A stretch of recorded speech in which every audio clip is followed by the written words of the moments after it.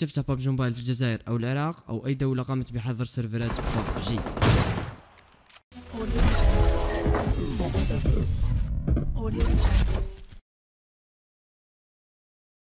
السلام عليكم. هلا شباب. اليوم شباب راح نعرف كيف نفتح ببجي موبايل في الجزائر أو العراق. الطريقة جد سهلة. يمكن لأي شخص فتحها مهما كان. أول شيء نبتديها بالصلاة على الحبيب محمد عليه الصلاة والسلام. ويلا شباب. الطريقة تمكنكم من فتح المواقع المحظورة أو الألعاب الأخرى مثل Free Fire okay تفتحها مع ping مقبول من دون delay أو تأخر في ال ping اللي يسوي لك ال lag والتقطيع. يا ريت شباب تضغط لك like وتشارك الفيديو مع أصحابك لحتى يحلوا هذه المشكلة. فهذه أزمة ومشكلة كبيرة لنا ككل. بعدين شباب ما فينا نسوي أي شيء بس نلعب في البيت في ظل هذه الكارثة العالمية.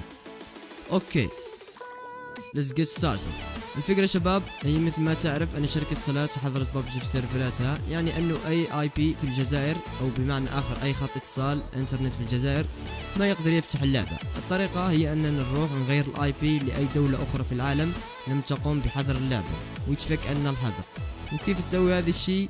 سهلة. في تطبيقات VPN كثيرة تقوم بهذا الشيء لكن تختلف جودة واستقرار سيرفراتها حسب كل تطبيق.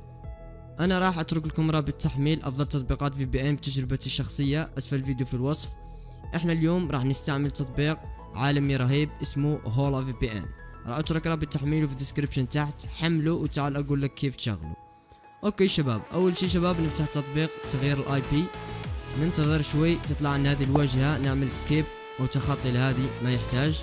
وبعد ما تجيك هذه النافذة لتطبيقات موبايلك تروح تختار اللعبه أكيد. إحنا في حالتنا ببجي نختار أي نسخة ما يهم كورية أو عالمية.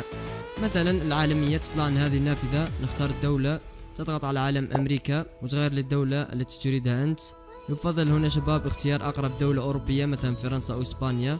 أوكي نختار فرنسا مثلا أو نختار أي دولة يمكنك البحث عليه. بعد ما تقوم باختيار الدولة تضغط على start لبدء الاتصال. بشكل تلقائي شباب بعد الاتصال تفتح اللعبة وخلص الحين راح تفتح عندك اللعبة زي اللوز. ما في أي مشاكل إن شاء الله.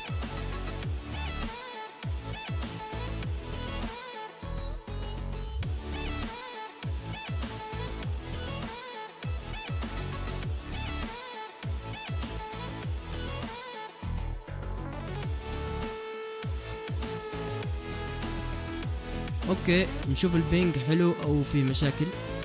أوروبا مثل ما تشوفون 100 تقريبا يعني والشرق الأوسط. يعني شباب إن شاء الله ما راح تواجه مشاكل مع ال ping مثل ما تشوفون.